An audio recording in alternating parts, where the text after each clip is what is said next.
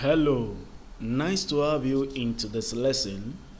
Into this lesson, we shall be considering oscillation and we will be looking at the third part of the topic. We've considered the first part as well as the second part. So, the third part will be a continuation of the second part uh, of the topic. So, you can check up on the video uh, to see uh, the previous video on the first part and the second part. Uh, that is very important for you to be able to understand uh, this third part of the topic. Well, in this uh, top part of the topic, we will be considering a vital thing. In the second video, I mean the second part, uh, I asked a question and we're able to look at type of um, damping as, uh, as uh, we talk of light damping, heavy damping, critical damping, and uh, we're able to see how each of them um, you know, play out in terms of oscillation. I mean, in terms of the movement of an oscillator. Then we're able to look at the graph. But meanwhile, towards the end of the video, I asked a question, a salient question. And I asked us to pause and think on that against uh, today's lesson. And the first question I asked was that can we maintain the amplitude of an oscillation? That was the first question. Can we maintain the amplitude of an oscillation? Well, for this question, you might be tempted to say it is not possible. Simply because practically we can we can't have an oscillation with a constant amplitude. And obviously that is actually true. Based on what i said in the previous lesson which is the first part of the topic that as far as a free oscillation is concerned, which is an oscillation that has to do with constant amplitude, that practically speaking, ideally, it's not workable as in it's not fixable. Meaning that practically we can have an oscillation maintaining a constant amplitude because some other factors will definitely influence the amplitude of the oscillator either by decreasing the amplitude, maybe due to damping force or some other factors. And that is actually true to that extent. But in the case of this, it's not true. Why? Because there are other ways we can make the amplitude of an oscillation to be maintained or to be constant. How do we do that? That's, that should be the question now. How is it possible to maintain the amplitude of an oscillator or of an oscillation? Now, all I just need to do, knowing full well that for a body to be set into an oscillatory motion, there is an application of energy or force. It is that force that we call the driving force so the force applied makes the oscillator to move to and fro.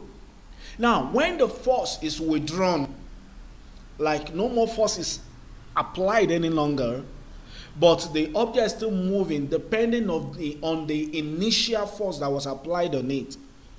Obviously speaking, the oscillator will tend to decrease its amplitude why? Due to air resistance and some other factors. But how can we now maintain the amplitude of the oscillator? I mean, the initial amplitude of the oscillator when the driving force was applied. Now, it's very simple. All I just need to do is to consistently apply a slight amount of force or energy on the oscillator. If that is done, then the amplitude of the oscillator will be maintained consistently. That is only on the condition that an external force is applied to the oscillator and that external force must be commensurate to the point that it must give the exact or approximately equal to uh, the initial amplitude of the oscillator. So, in a nutshell, it means the amplitude of an oscillation can actually be maintained if we apply a slight amount of force consistently. Those, that is the only condition. And if that is done, the oscillation is no longer a free oscillation since there is an application of force. Because a free oscillation should not be influenced by any external or surrounding factors. Now, the second question I then asked was that can we increase the amplitude of the oscillation? Now, looking at the explanation I gave to this first question, it's very obvious that we can actually increase the amplitude of the oscillation. How? Of course, all I need to do is to step up the amount of force I exert on the oscillator. If I increase the amount of force, in this case now, the amount of force will gradually be increasing. And as the amount of force gradually increases, the amplitude of the oscillator increases in same manner. Knowing full well that force exerted is always directly proportional to the acceleration of the object. And knowing full well also that acceleration is negative uh, omega square then x maximum which is maximum displacement and if we the maximum displacement is also amplitude so definitely there is a relationship between the exact force as well as the maximum displacement, which is the amplitude so if i increase the exact force then obviously the amplitude will also increase along line. So, in a nutshell, force is the main determinant, or energy supply is the main determinant of increase in the amplitude of an oscillation. Now, from here, we are going to consider some vital things, knowing full well that I'll be able to discuss those two questions. So, definitely, if an oscillation can be influenced by a force resulting into an increase or maintaining of its amplitude, then we can say that there is what we call forced oscillation. So we can say there is something, well, I mean, there is a forced oscillation. And this is actually the third type of oscillation I gave in the first video. When I said there are three types, I said we have free, I mean, yes, we have free oscillation. And the second one was damped oscillation. Here is the third one, which is the forced oscillation. So we'll be looking basically today considering force oscillation, forced oscillation. So the question is, what is forced oscillation? Well, forced oscillation is a simple harmonic motion. Mind you, I've said it uh, before in the previous video that oscillation must obey simple harmonic motion, the defining equation of simple harmonic motion. So definitely all oscillation has to be simple harmonic motion if they obey that defining equation. So a forced oscillation is also a simple harmonic motion. But in this case, it is driven externally by a force with large amplitude. Okay, so we are going to see some key factors to note when defining the word forced oscillation. first of all, is the word simple harmonica motion. Simple harmonica motion. That's one of the key points that must reflect in your definition. Then it is being driven by external force. So it is driven externally by a force. And the result of the application of the external force will give us a large amplitude. I've explained that uh, during the introduction to this uh, uh, lesson today. Okay, so increase in the force exerted will result into increase in the amplitude. So the more the force, the larger the amplitude of the oscillation. So these are the three basic keywords that must be noted when defining the word oscillation. So well, let's see an example of forced oscillation. Yeah, we have a, a cool example of that. A simple example is a good, uh, I mean, is a forced oscillation uh, of a child swing. Okay, forced oscillation uh, of a child string. Uh, some of us are familiar with a swing. When you place a child on a swing, the child remains there as far as no force is exerted. Until force is supplied, the child begins to move in the direction of the swing or in the direction of the force exerted on the swing. Okay, so in this case, child swing is a good example of forced oscillation. Let's see uh, uh, this diagram. You can see these two guys, these two uh, kids, you know, trying to enjoy themselves um, on the swing. One is supplying the force, and the other one is enjoying the, the move, the I mean, the dynamic movement of the swing. Now, if we look at these two, these two kids, do we notice that the one driving the other one, which is this guy, is the one supplying the force. While this guy, which is this kid, is the one being driven. So in other words, the one supplying the force is taken as a driver, which who and the driver function is to give a periodic driving force. So the driver is meant to be supplying force to the oscillator. The oscillator in this case is this kid on the swing. Now, this kid on the swing with the swing is referred to as the driven. Okay? And uh, the driven is simply the oscillating system. Okay, because it is the driven that is responding to the amount of force exerted by the driver.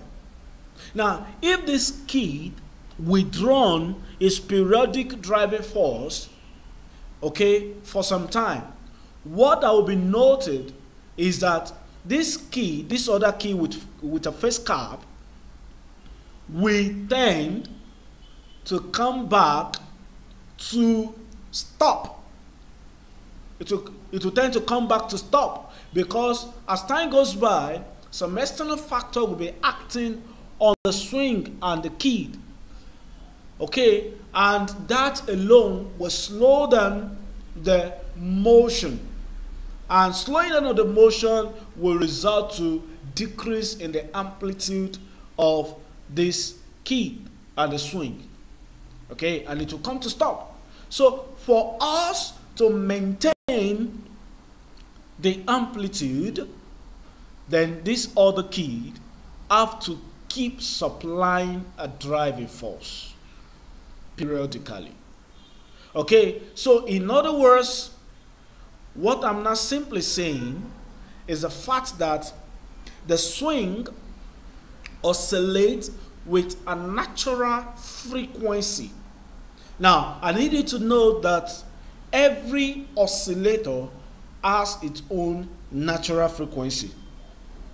Okay, so they oscillate at, at their own natural. And uh, uh, an oscillator with a natural frequency can only exhibit that, I mean, its own natural frequency when being displaced or released.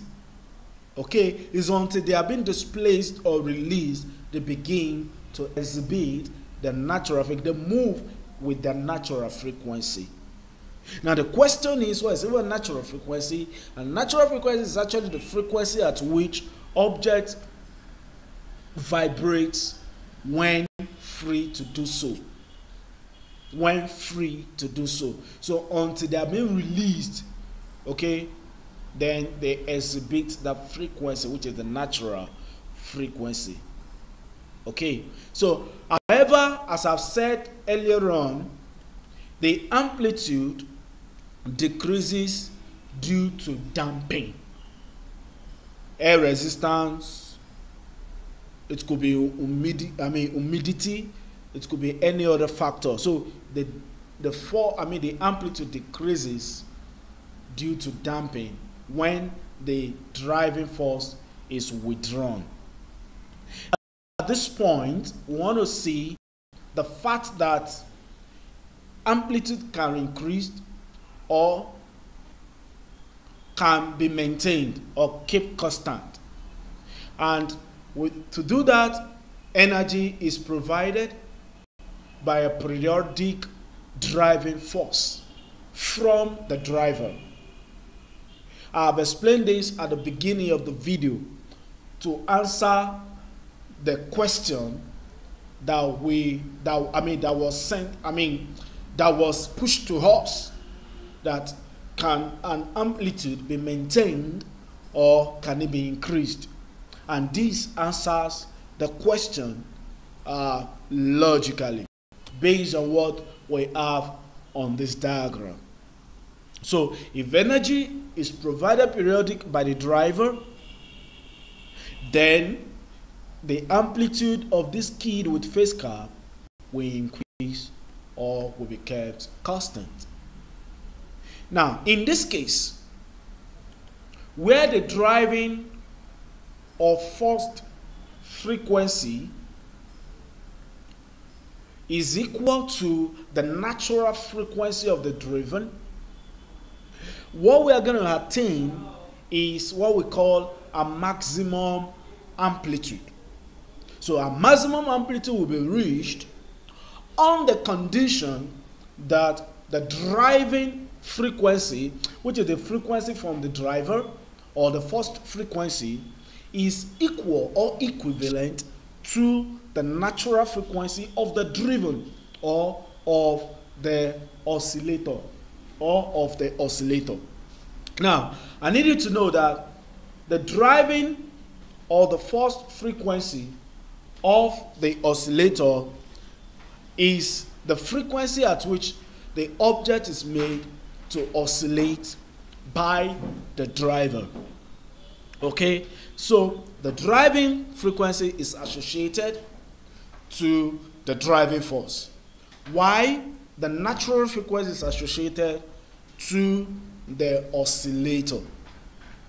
So we need to get a difference clear.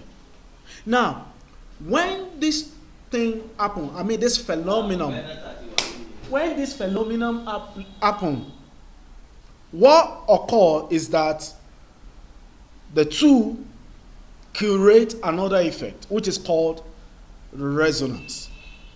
So resonance is more or less when the natural frequency of the driven or of the oscillator is equal to the driving frequency by the driver. So take note of the fact that this occurrence obeys resonance. Now, at this point, we shall be considering the concept resonance. What is resonance? Now, resonance can only occur when the frequency of a periodic driving force on an oscillator is equal to the natural frequency of the system or of the oscillator to give a maximum amplitude. To give a maximum amplitude. Now, at this point, you need to take note of some key point in the divination.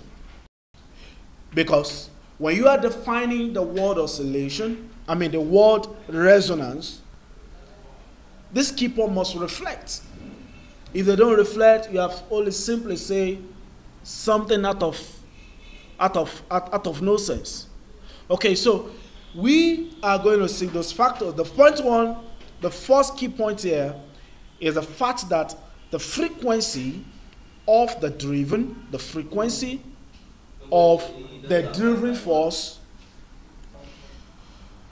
the frequency of the driven is equal, the frequency of the driven, of the driven, of the driven force and the natural frequency the natural frequency must be equal. It must be equal. Then the result of that equality is maximum amplitude. So those ones I've highlighted are the key point, the salient point that must reflect in your divination to earn you your full mark. Now, summarily, what I'm trying to say from this divination is the fact that the driven force, mathematically, F equals natural frequency F naught. Now, we can explain this by using a graph. Let's consider the graph. Here I have the amplitude why on the horizontal axis we have the driving frequency. Now I want to relate how the amplitude and uh, the driving frequency will play out on this graph. Now knowing full well from my definition at first, I said when you increase the driving force, there is a corresponding effect on the amplitude. So the amplitude increases.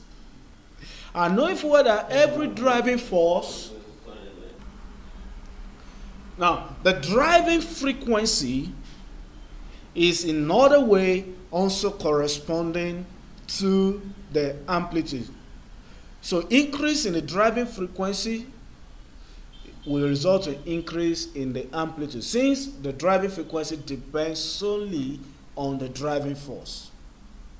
Now, let's considering this graph, as the driving frequency increases from zero, obviously there is an increase in the amplitude. As I'm moving rightward, the amplitude is increasing upwardly. Now, at a point, the driving frequency would then be equal to the natural frequency of the oscillator.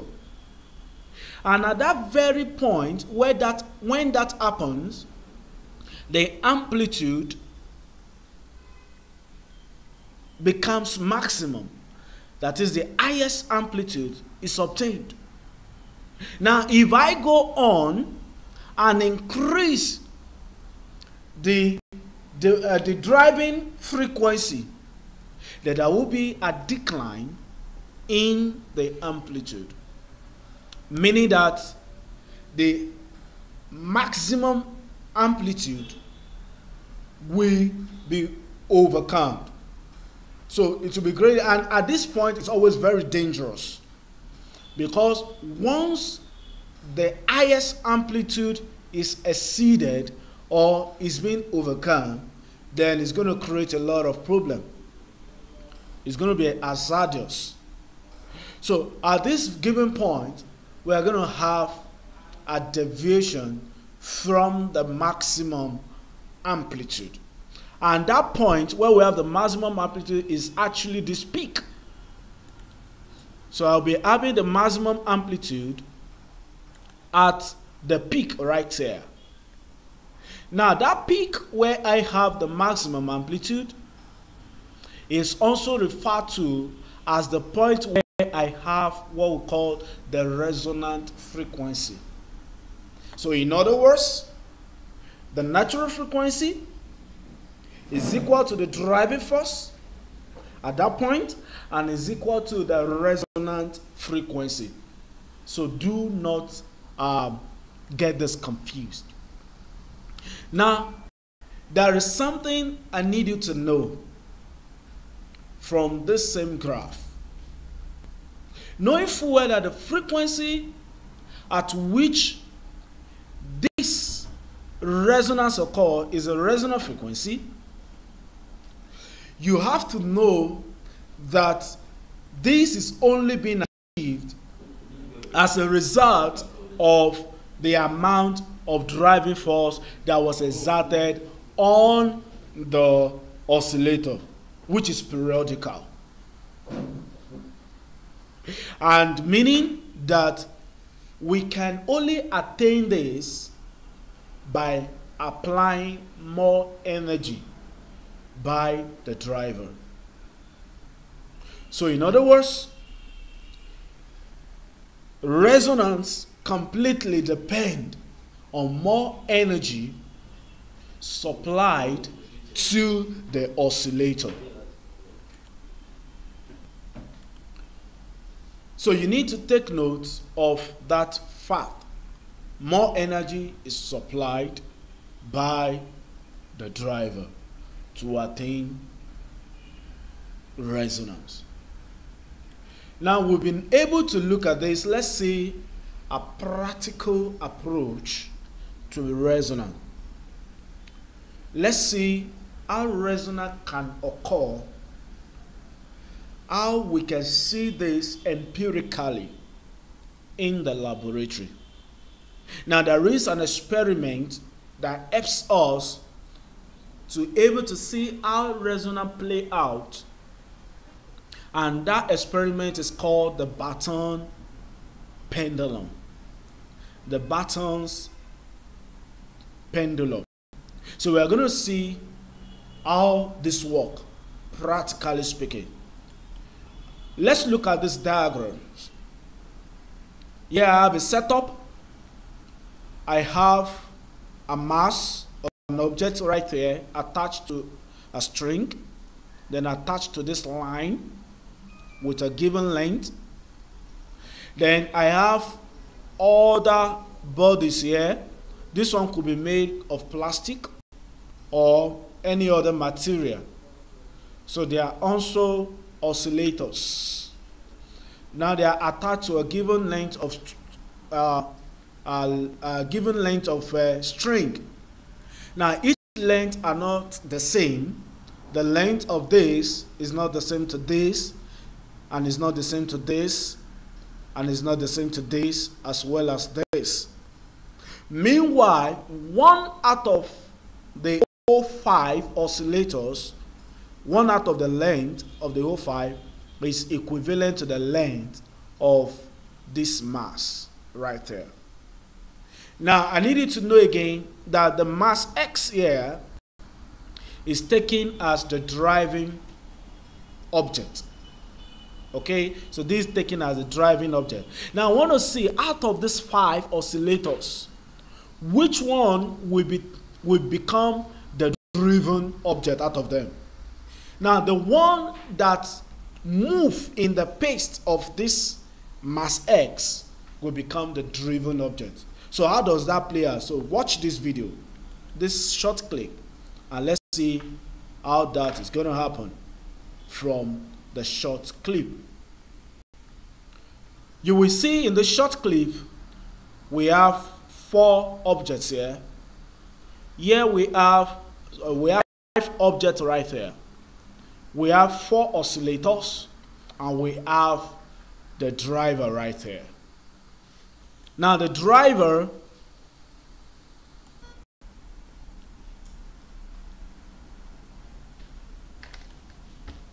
Now, the driver is this, why I have the oscillator right here. Now, when I display the driver, when I display the driving object, it sets the other object into motion. Can see the objects are really moving right now when the driver is moving. So it sets them into oscillation. But as time goes by, other objects, I mean, this and this, they begin to slow down. They begin to slow down. Why the other one, which is this one, which has corresponding length to the driving object. I mean, yeah, to the driving object. We moving is moving at same pace as that of the driving object. You can see that. You can even see they are actually moving in phase. They are moving at the same time in phase, in same direction. So this tells us that what is simply playing out is that the frequency of this driving object is influencing this oscillator, setting it to move at same pace with this other object.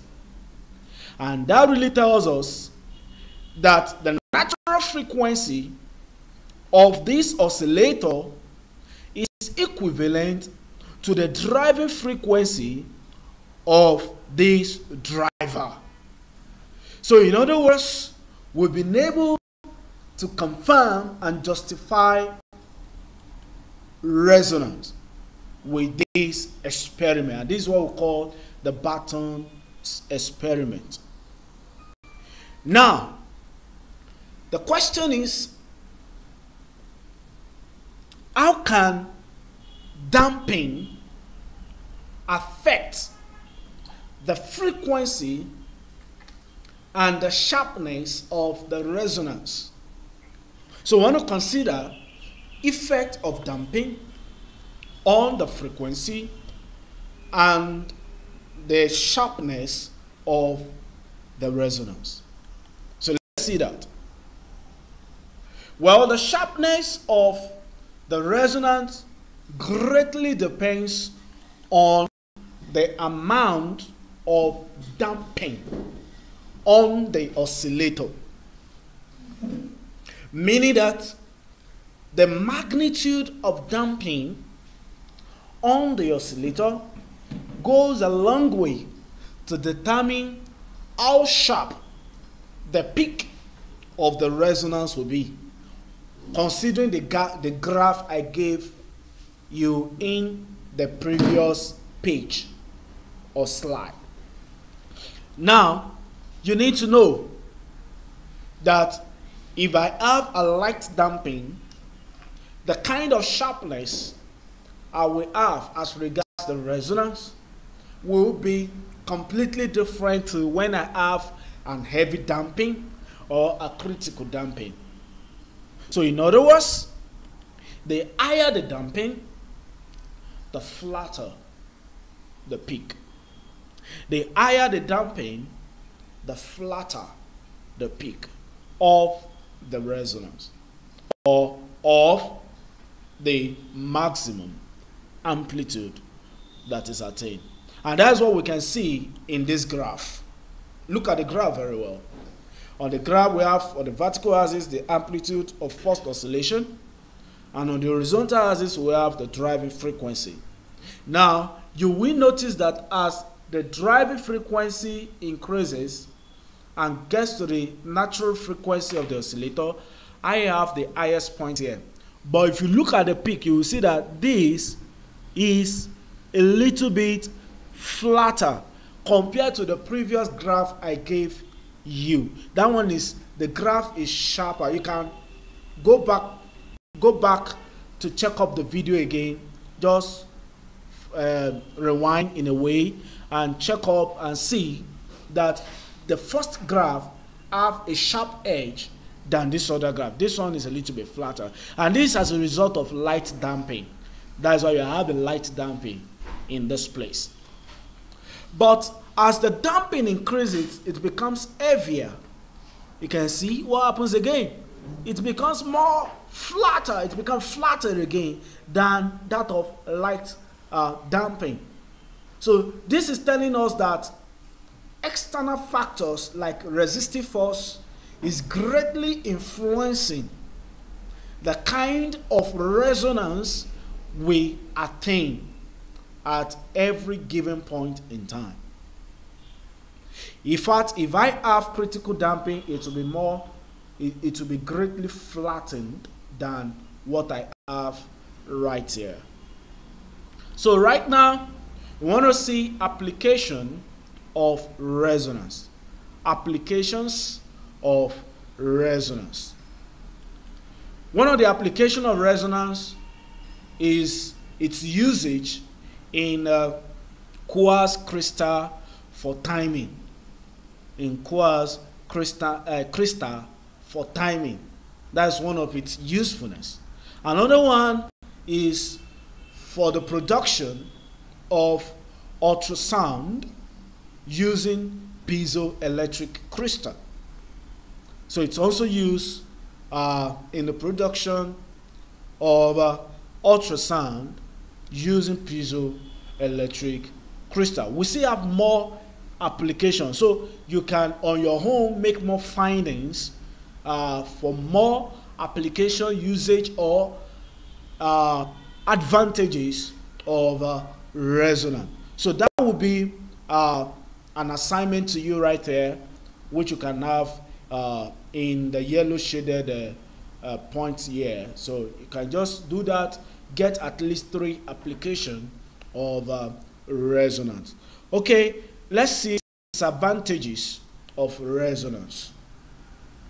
Now, one of the greatest disadvantages of resonance, we have so many disadvantages of resonance, but one of the uh, greatest disadvantages is uh, in the collapse, I mean, the collapsing of uh, uh, structures, constructing, I mean, constructions like uh, bridge structure, like uh, building structure, whatever structure. If the consultant or the builders does not put this into consideration, this will greatly play out the collapsing of the structure will greatly play out. And that is why a column, I mean, a column of soldiers, while marching on a bridge of light span, I mean, long span, are advised to break their steps. This is the more reason. The reason is because their rhythmic march might set up oscillations of dangerously large amplitude in the bridge structure. If you have soldiers marching at the same time rhythmically, it affects the oscillation of that bridge, causing it to create a large amplitude. And I've said it earlier on that when an amplitude is so great, it becomes hazardous. So it will affect the, the, the structure of the bridge and that can result into the collapse of the bridge, which is very, very dangerous. And so that is the more reason why soldiers marching on the bridge are advised to break their steps. So you can do more research by getting more disadvantages. We still have a lot of them. So you can get like three adverse effects of resonance on your whole. At this point, we will be considering some questions. This question time. The first question have here, you can simply pause the video to take a look at the question and try to attempt the question on your own. with what you have learned so far, you should be able to answer this question.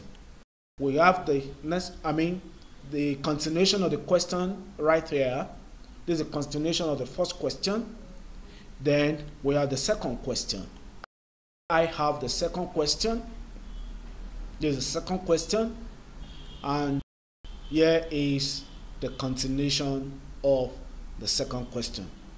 So at this point, we shall be calling it uh, a stop for oscillation. So these all uh, Cambridge is really expecting based on their syllabus is expecting from you. So yours is to solve more questions, answer more questions, and get more other facts to add to this.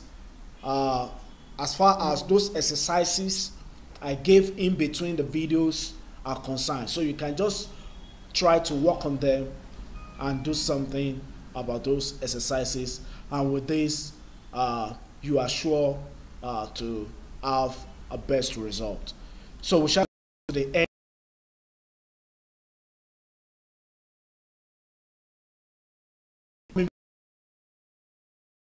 Another stay tuned